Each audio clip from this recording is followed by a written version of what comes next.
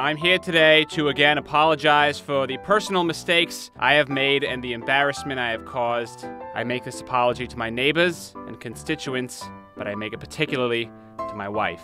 My private conduct has been a disappointment to my family, my nation, and myself. So I am resigning my position effective immediately. Though my Private behavior has never once distracted me from my duty to you as your uh, representative. I am, uh, Clearly not the right person to lead this nation. I want to stress again how deeply sorry I am that I was not able to better control my personal yearnings. It's clear to me now that my addiction to sex is. gotta have it! My addiction to sex is the source of my personal and professional troubles.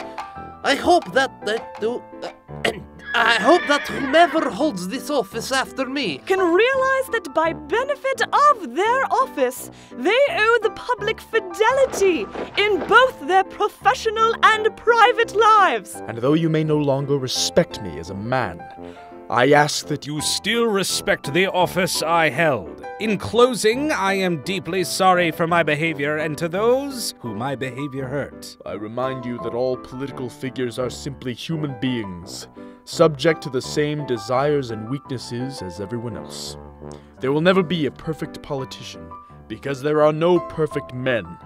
So, I thank you for giving me the honor of serving you and hope your next leader is able to control his sexual appetites with more discipline than I. Thank you.